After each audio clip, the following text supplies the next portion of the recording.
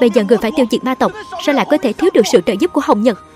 Mong sau này, Thần Tôn Hãy bảo trọng Hồng Nhân, Bảo vệ chúng sinh. Hồng Nhân!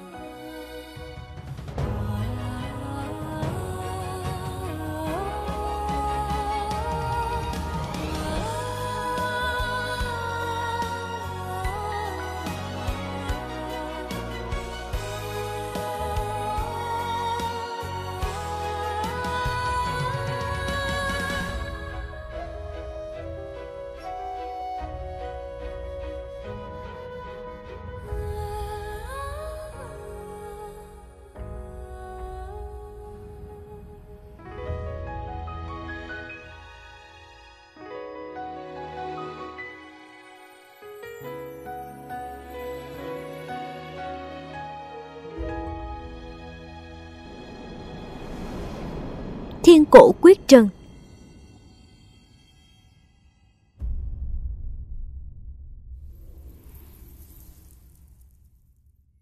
Tập 16 Nguyện kiếp sau. Không là thần. Để được ở bên chàng.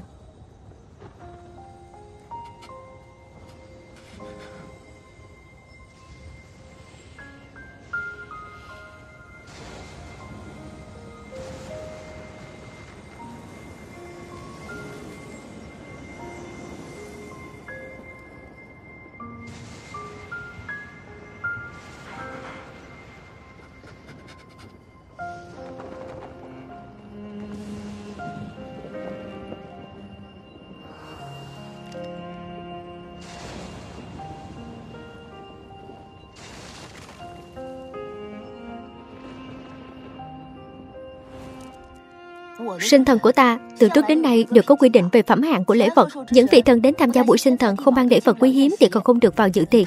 Ngươi đường đường là thần tôn bạch quyết mà lại tặng món quà sơ sài quá đi. Ta không cho phép nàng chết. Tam giới còn, thì nàng con. Ta không cho phép nàng chết. Ta không cho phép nàng chết.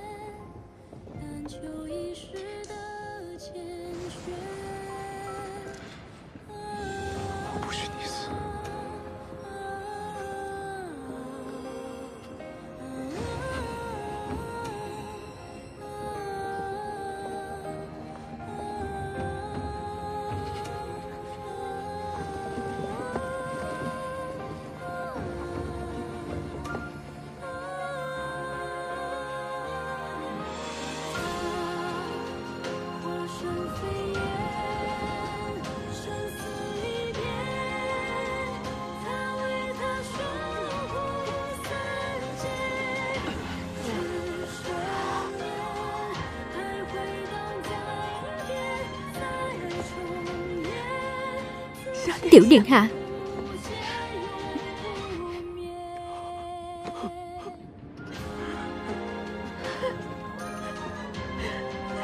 Thần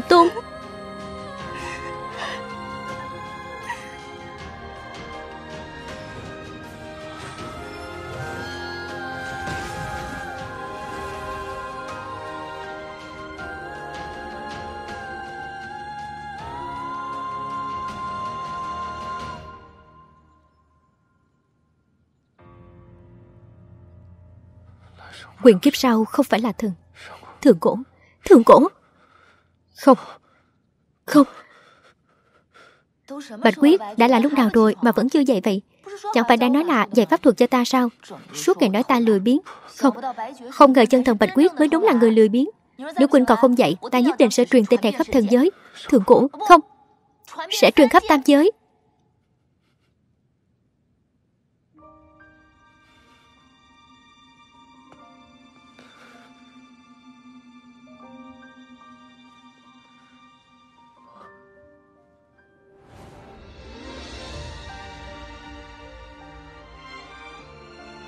Cô muốn làm gì? Từ nay về sau Ta sẽ luôn ở bên Quynh. Cùng Quynh tu luyện Đọc sách Uống rượu. Khi trời quang đảng Chúng ta cùng nhau thả diều.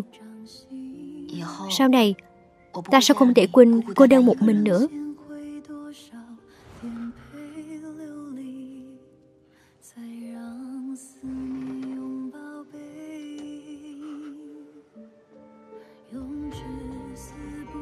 Bạch Quyết, Quynh lại đây. Quynh ngay ra đó làm gì vậy? Chơi xích đu cùng ta đi. Lại đây. Lại đây. Quynh đã hứa với ta rồi. Hôm nay Quynh phải chơi xích đu cùng ta. Quynh đã dạy ta thế nào? Nói là phải làm Đã làm thì sẽ có kết quả Không được nuốt lời đâu đấy. Lại đây. Lại đây. Lại đây.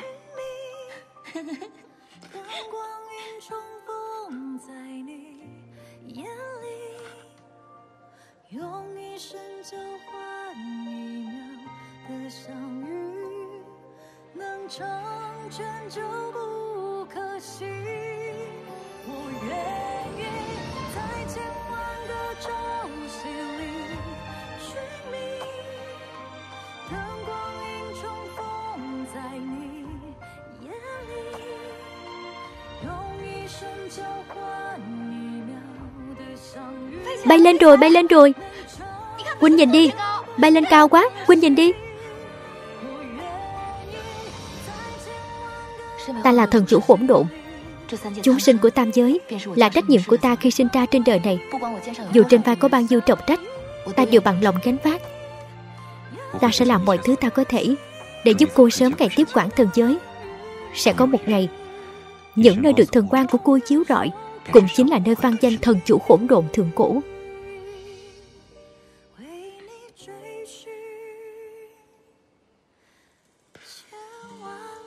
Thần Tôn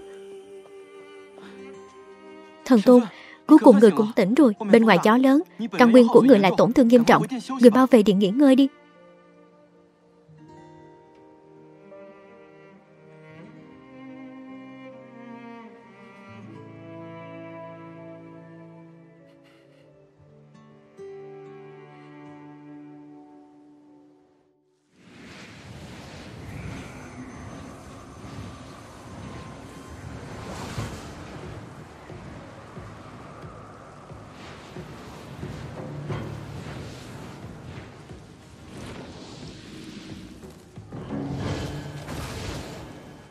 Ma tộc đã chờ đợi rất lâu.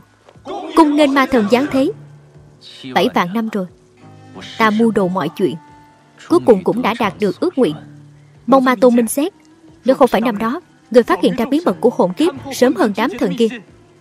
Thì bây giờ, Người hy sinh vì thần giới Sẽ là ma tôn. Vì thần giới sao? Đực cười. Đến cả tổ thần, ta còn không coi ra gì thì dựa vào đâu mà ta phải hy sinh vì thần giới? Tuy bản tôn bị nhốt ở cửu U, Bị nhốt ở đây, Nhưng đây đều là kế hoạch của ta. Kẻ địch của bản tôn không phải bọn chúng, Mà là thiên mệnh. Chỉ cần hồn kiếp vẫn chưa biến mất, Ai làm thần chủ Thì chính là tự tìm cái chết. Không biết đám cố nhân trên thần giới Có còn nhớ bản tôn không?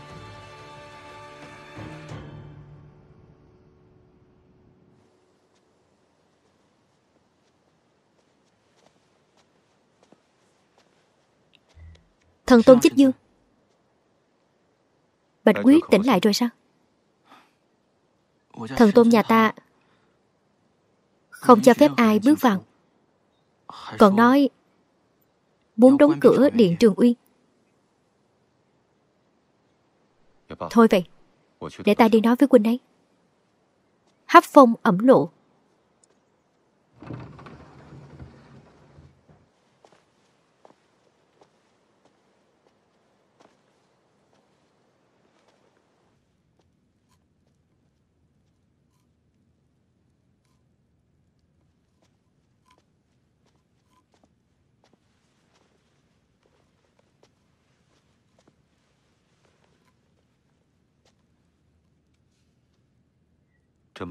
Đôi chân mày đó rất giống với thượng cổ.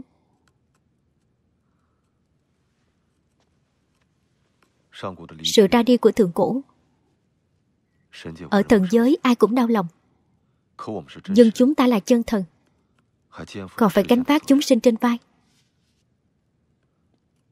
Ta biết, Từ khi Quynh bắt đầu dạy bảo thượng cổ Điều Quynh quan tâm nhất chính là mùi ấy Bây giờ là nhìn thấy mùi ấy biến mất trước mắt mình như vậy. Đừng nói là Quynh. Đến ta cũng khó mà buông bỏ được. Nghĩ đến thôi cũng thấy đau lòng. Điều ta muốn nhất chỉ là bảo vệ mùi ấy bình an.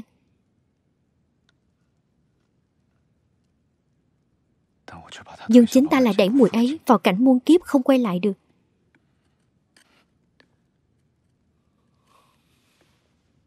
Gần đây Ta hay nhớ đến một vài chuyện cũ。Ta Quynh Và cả Thiên Khải。Lúc đó chúng ta còn rất trẻ。Tổ thần bảo chúng ta làm gì？Là chúng ta liền làm cái đó。Tuy không hiểu được hàm ý là gì Cũng không ngộ ra được đạo lý nào。Lúc nào cũng rất mơ hồ Nhưng lại rất vui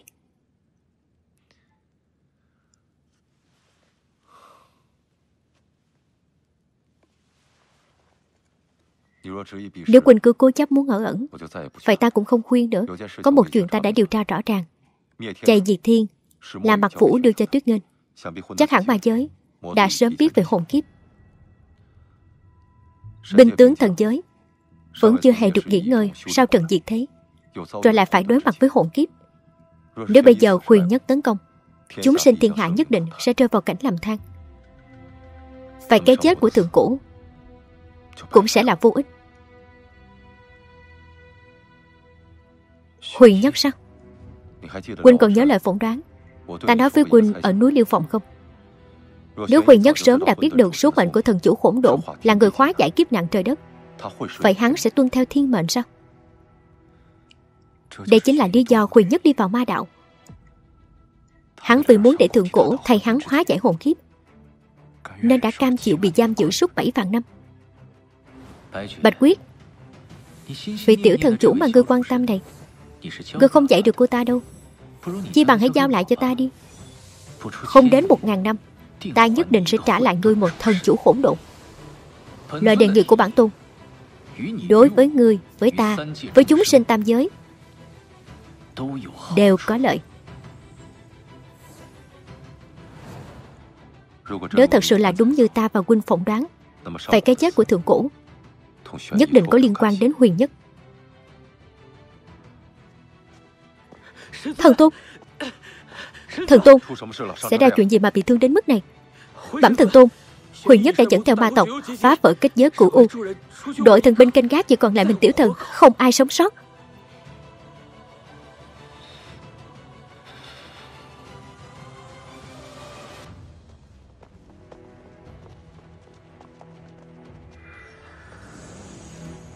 Điện Triều Thánh Là cầu đồng Ma tộc tấn công rồi Thần Tôn ra lệnh cho chúng ta rời khỏi thần giới.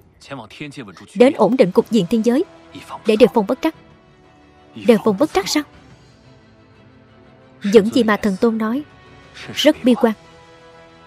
Trận chiến với ma tộc lần này E là lành ít dữ nhiều.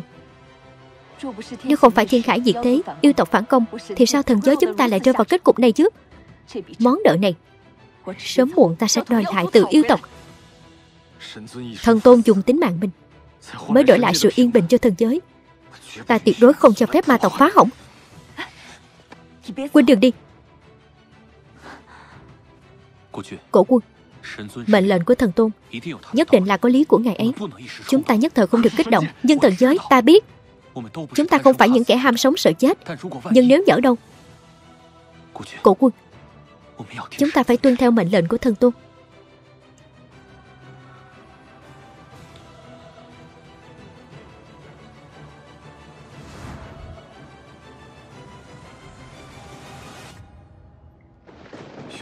Huỳnh Nhất chọn xuất binh vào lúc này. Chắc hẳn là đã biết được tình thế ngặt nghèo của thần giới. Nguyên thần của huynh bị tổn thương nặng. Tu vi của ta bị hao tổn Vậy thì sao chứ? Hôm nay ta sẽ khiến hắn nợ máu trả bằng máu. Bản tôn đã đợi 7 vạn năm. Cuối cùng cũng đợi được đến ngày này. Hai người cũng trượng nghĩa thật đấy vì để bảo vệ an toàn cho thần giới, Đến cả một thần quân linh lực cao siêu cũng không đem theo. Bớt nói nhảm đi. Gơ trắc tâm ngu đồ bảy vạn năm, Sớm đã biết được khủng kiếp Lại cuối để thượng cổ chết thay ngươi. Bón đời này, Ta nhất định sẽ không tha cho ngươi. Vậy thì sao chứ? Thần lực này đều là ta ngày đêm khổ cực tu luyện nên, Dựa vào đâu mà bắt ta chết thay cho cả thần giới? Lẽ nào tính mạng của huyền nhất ta Lại trẻ mạc hơn cả chư thần thần giới sao?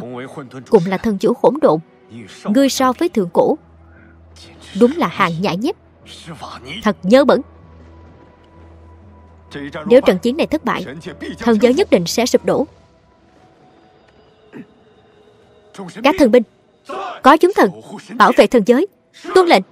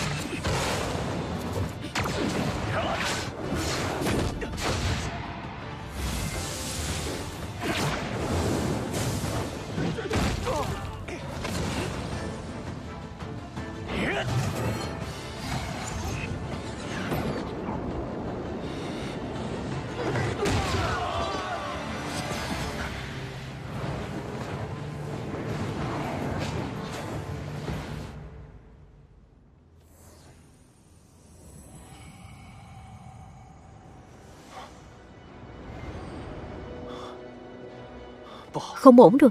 Thần giới nhất định đã xảy ra giao chiến rồi. Thần quan đó hình như là thần tôn bạch quyết, Còn sức mạnh màu đen đó.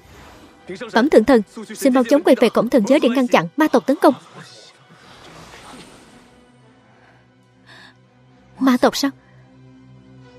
Hỏng rồi.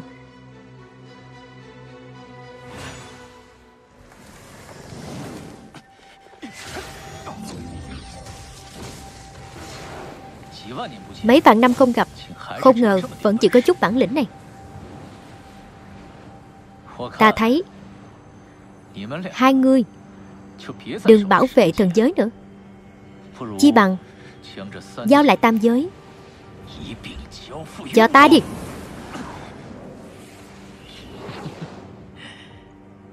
Bản tôn đã nhẫn nhịn bảy vạn năm rồi. Hôm nay Ta sẽ để cho các người thấy được. Thế nào là thần? Thế nào là ma?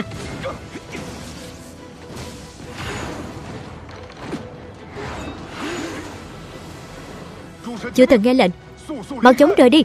Thần giới gặp nạn, Chúng thần sẽ không khoanh tay đứng nhìn.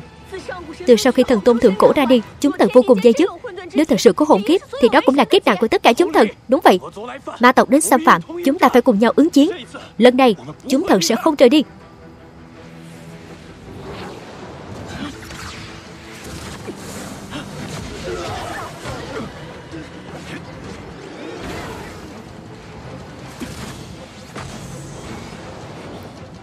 Chúng thần nghe lệnh. Khởi động pháp trận.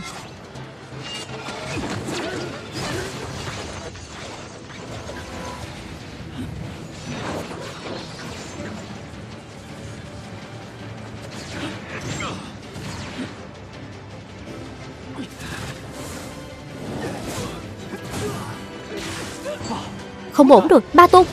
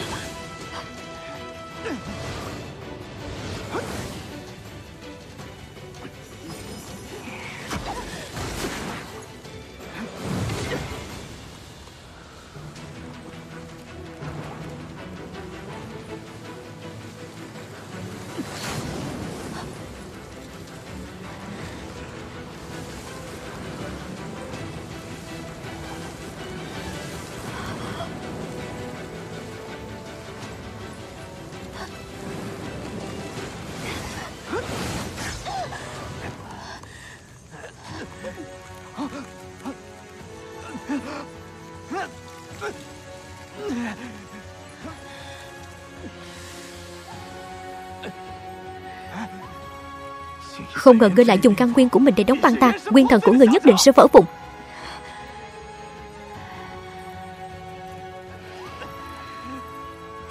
Kiếp này gặp được thần tôn.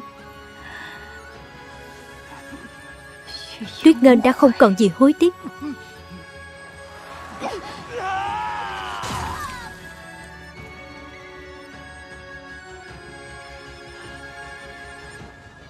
Không thể nào. Bản tôn trải qua được khổn kiếp Phá hỏng quy luật đất trời. Bản tôn nhất định sẽ không thua.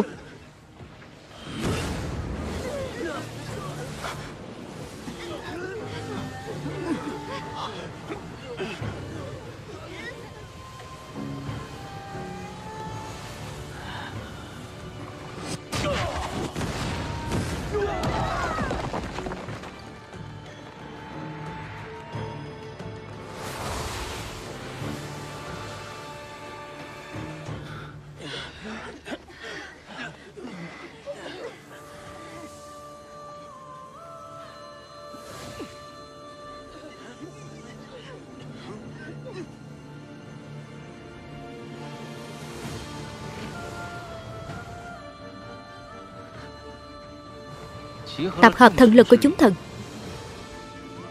Mà lại chỉ có chút trò vặt vảnh này. Hôm nay bản tôn Sẽ để người thấy được. Nó sẽ biến mất từng chút từng chút một như thế nào. Bản tôn sẽ khiến thế gian này Không còn vị thần nào nữa.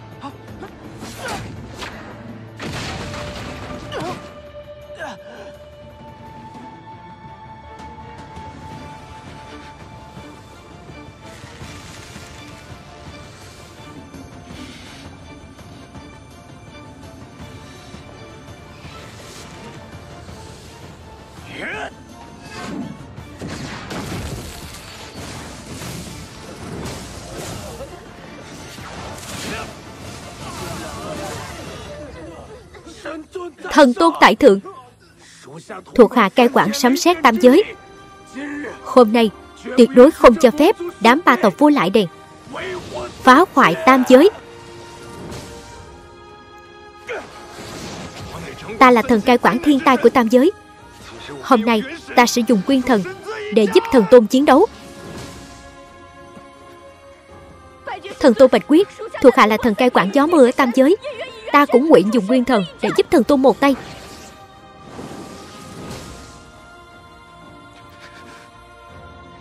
Vậy hãy lấy mạng, Đổi mạng đi.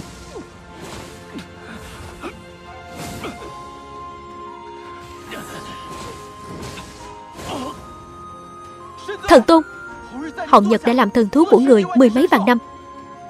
Bây giờ người phải tiêu diệt ma tộc Sao lại có thể thiếu được sự trợ giúp của Hồng Nhật. Mong sau này Thần Tôn Hãy bảo trọng Hồng nhân Bảo vệ chúng sinh.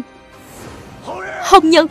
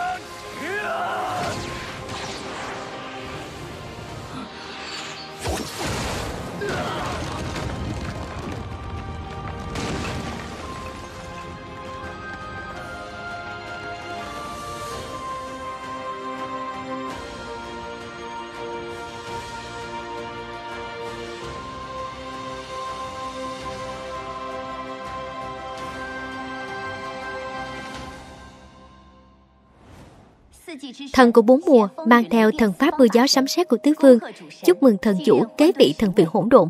Thần của các vì sao, chúc mừng thần chủ kế vị thần vị hỗn độn. Bản tôn tưởng rằng dạy đám nhóc con sẽ khiến Quynh dịu dàng hơn. Không ngờ vạn năm không gặp mà Quynh vẫn như xưa. Bạch quyết Mười, mười mấy vạn năm rồi Đây là lần đầu người nói đùa với ta Trọng trách với chúng sinh quá nặng Ta không có lựa chọn. Bạch quyết。Tam giới này. Ta phải giao lại cho chàng rồi. Ta đã hứa với thượng cổ. Phải thay nàng bảo vệ thần giới. Ta làm được rồi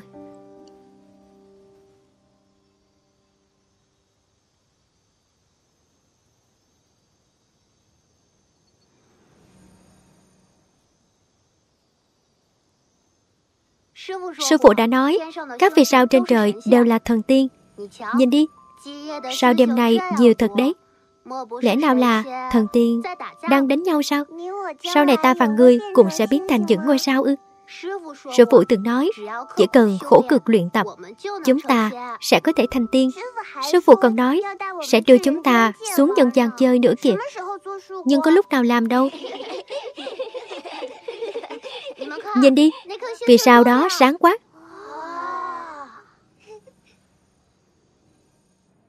Sáu vạn năm sau.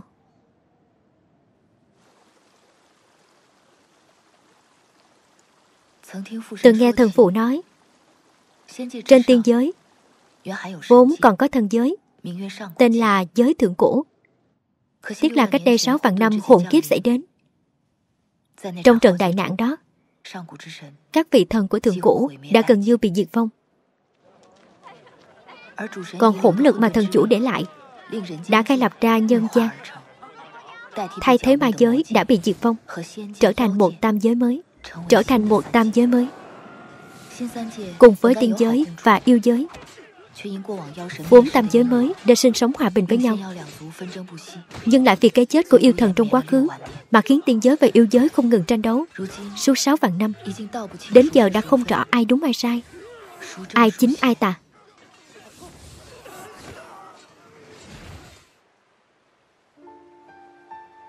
Yêu giới.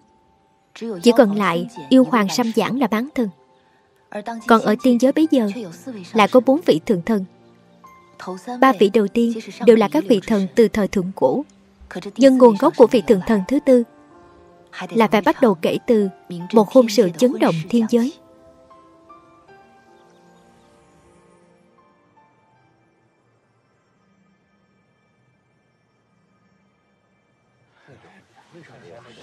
Sao thiên cung có thể phô trương như vậy chứ? Như này thì phải mất bao nhiêu linh châu? Vị thiên quân này là thượng thần bộ quan, người thừa kế huyết mạch của Kim Long. Thiên hậu là thượng thần vu hoáng, tộc trưởng phượng tộc. Phô trương cũng là đúng rồi. Mà cả thượng thần cổ quân ở cung thanh trì nữa đấy.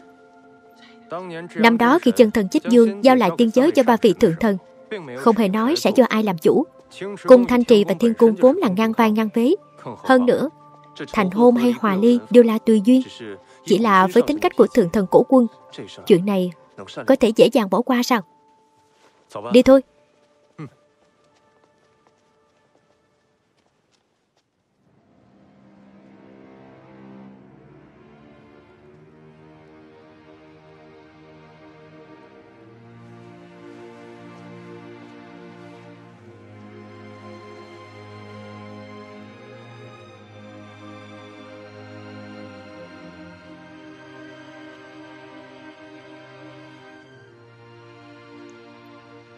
Chàng nói xem Quỳnh ấy có đến không?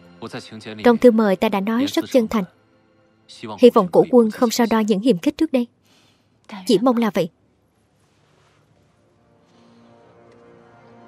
Hôm nay là ngày đại hôn của chúng ta. Đừng nhắc đến Quỳnh ấy nữa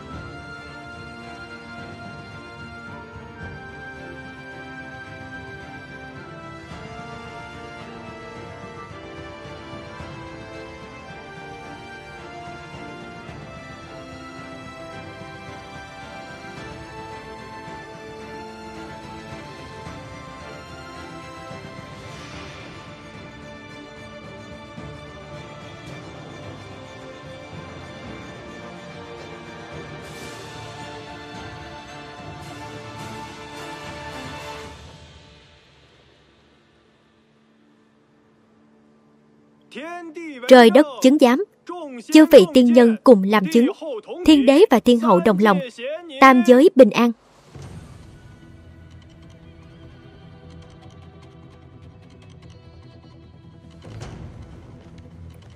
Cung nghênh thượng thần cổ quân.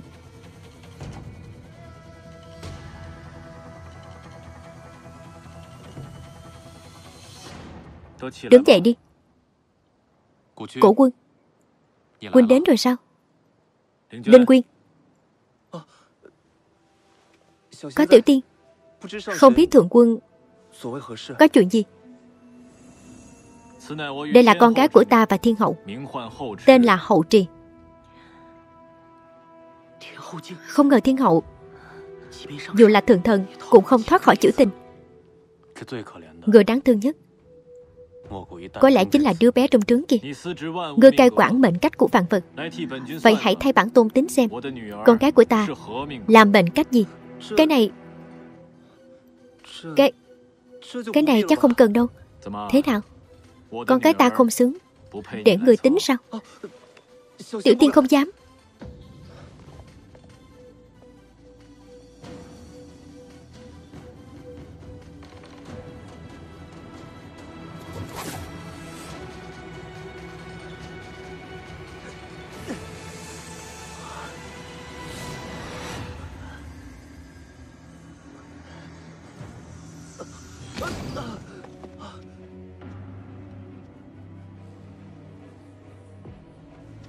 Bẩm bệ hạ. Bẩm thần quân. Tiểu thần quân, Tiểu thần quân là mệnh cách thượng thần Đây, Sao có thể là mệnh cách thượng thần chứ? Sao lại xuất hiện một mệnh cách thượng thần chứ? Đây, Linh Quyên Mọi người đều biết, Sau khi thần giới đóng cửa, Thiên hạ này Chỉ có ba vị thượng thần. Ngươi hãy ăn nói cẩn thận. Hồi bẩm bệ hạ. Tiểu tiên không dám nói dối. Tiểu thần quân Đúng là mệnh cách thượng thân. Thiên hậu có ý kiến gì không? Ta Vậy thiên đế thì sao? Được.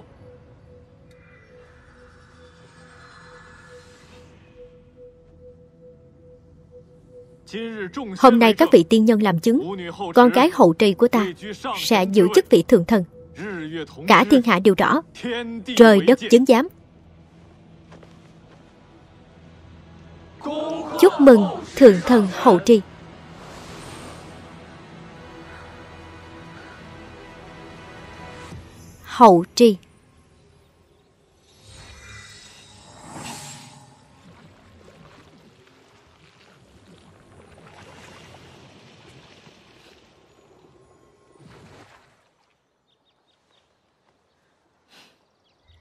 Ta mất 4 vạn năm để phá vỡ lớp vỏ của mình, mất 2 vạn năm để học những điều cơ bản. Đã tu luyện 6 vạn năm rồi, sao ta vẫn chỉ là một hạ tiên kém cỏi vậy?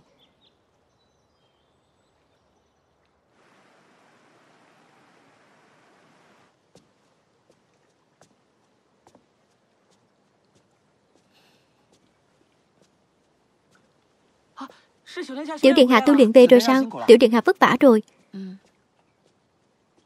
Thượng quân Bách Huyền thường nói, việc tu luyện không cần nóng vội, tiểu điện hạ vui là được. Tất cả đều trông vào duyên phận. Hôm nay giống hệt với hôm qua chẳng có chút tiến bộ nào. Khi nào thì duyên phận của ta mới có thể đến chứ? Ngươi nhìn đi, lại nói những điều không nên nói rồi. Hay là ta nói với trưởng tọa Phượng Nhiễm, hôm nay không kiểm tra linh lực của người nữa, không cần đâu, Lúc đầu là ta cầu xin Phượng Nhiễm, đốc thúc ta học. Dù gì, cũng chỉ bị phạt một trận thôi mà, Ta đã quen từ lâu rồi. Tất cả đều là việc của một mình ta, Bây giờ ta sẽ đến tìm Phượng Nhiễm. Kiểm tra sớm một chút, Thì ăn mắng cũng sẽ sớm hơn một chút, Ta cũng có thể ngồi sớm một chút. Công thành bất cư.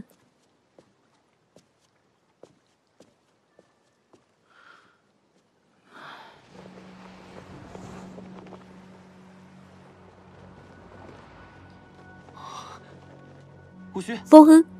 Quỳnh nhìn đi. Không cần kết giới ở núi Kỳ Liên lại mở ra rồi. Linh tuyền đậm đặc chưa kìa? Ai cũng nói linh tuyền ở cung thanh trì là báu vật của tam giới. Lời đồn quả nhiên không sai. Ta thấy không còn sớm nữa rồi. Chúng ta mau về sớm đi. Đừng làm lỡ đại sự của thượng quân. Phổi cái gì chứ? Còn mấy người nữa mới đến tiệc sinh thần của lão thượng quân Đông Hoa. Nếu chúng ta uống được một ngụm linh tuyền đậm đặc như vậy Công lực chắc chắn sẽ tăng lên ngàn năm Huynh không động lòng chút nào sao? Sợ gì chứ? Cung thanh trì sớm đã tan hoang từ lâu rồi. Chúng ta lặng lẽ vào đó Lấy ra là được. Ai phát hiện được chứ? Nhưng giờ cái quản cung thanh trì là thượng quân Phượng Nhiễm Cô ấy và phụ tử kim chúng ta đã có hiềm khích từ trước Vậy thì sao chứ? Tiên quân tử viên của chúng ta Là người được lòng nhất thiên cung. Dù Phượng Nhiễm có gặp chúng ta Cũng phải tránh đi mới phải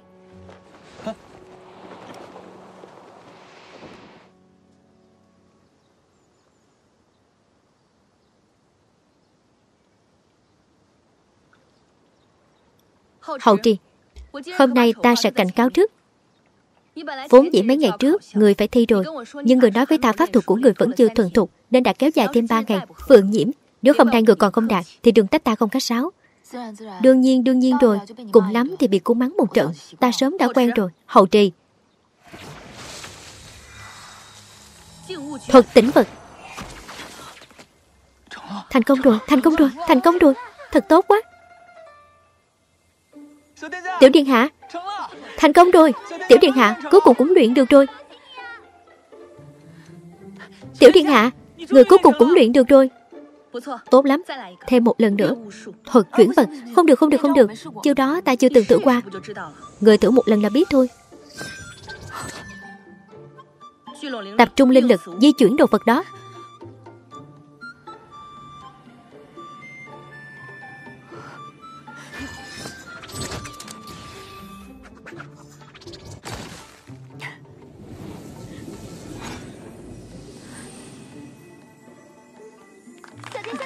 Điện Hạ lợi hại quá.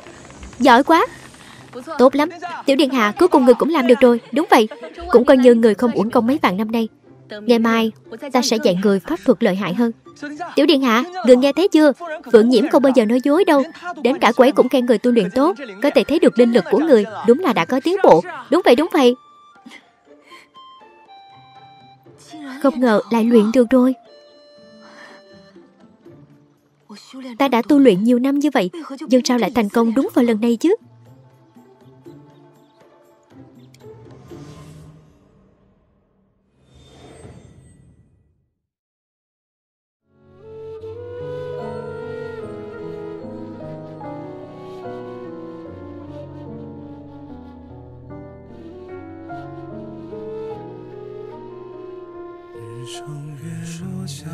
下雪冬雪更迭，猜猜别怕，别怕，百转千回，终会重逢。